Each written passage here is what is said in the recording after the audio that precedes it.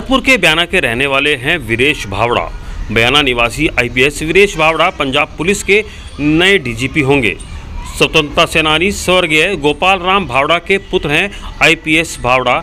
उन्नीस बैच के पंजाब के आईपीएस अधिकारी वीरेश भावड़ा ये प्रमोशन डीजी होमगार्ड से प्राप्त कर डीजीपी पंजाब की पोस्ट पर आए।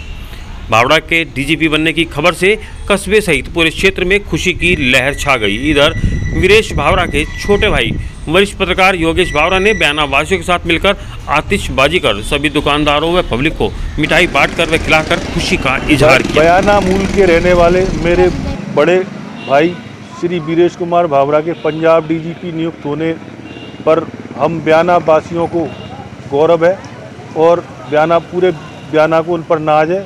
इसलिए हम बयाना में उनके डीजीपी बनने की खुशी में मिठाई बांट कर खुशी का इजहार कर रहे हैं।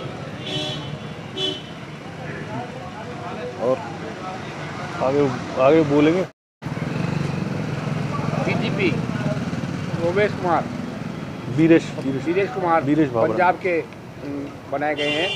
उसके आप उनके विषय में थोड़ी सी हमें हिंट दीजिए।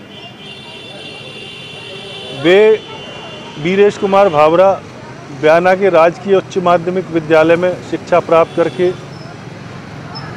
आगे शिक्षा के क्षेत्र में आगे बढ़े और उन्होंने दसवीं और ग्यारहवीं क्लास में राजस्थान माध्यमिक शिक्षा बोर्ड की पर- परीक्षाओं में मेरिट प्राप्त की थी। उसके बाद उन्होंने इंजीनियरिंग कुरुक्षेत्र विश्वविद्यालय से की। उसके बाद वे आईपीएस में सेलेक्ट हुए और उस, कुछ समय के लिए उन्होंने बीएचईएल भोपाल में इंजीनियर के पद पर भी सेवाएँ दी थी।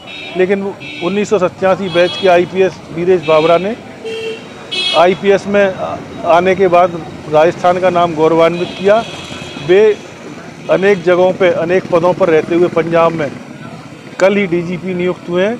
वे मानसा और गुरदासपुर जिलों के एसएसपी भी रहे पंजाब में। और पटियाला जो कि मुख पूर्व मुख्यमंत्री कैप्टन अमरिंदर सिंह का जिला है वहाँ पर वे सम वहाँ पर वो आईजी के पद पर भी रह चुके हैं। इसके अलावा वे पंजाब में एडीजी इंटेलिजेंस के पद पर भी रहे और कल ही वे पंजाब सरकार में डीजीपी के पद पर नियुक्त हुए हैं। मुख्य प्रधानमंत्री नरेंद्र मोदी की सुरक्षा में चूक के कारण पंजाब के तत्कालीन मुख्यमंत्री तत्कालीन डीजीपी सिद्धार्थ चट्टोपाध्याय को यूपीएससी के द्वारा आउट किया गया। उसके बाद उनको नया पद ये मिला है। और वे बहुत ही ईमानदार और कर्मठ और कठोर किस्म के अधिकारी हैं।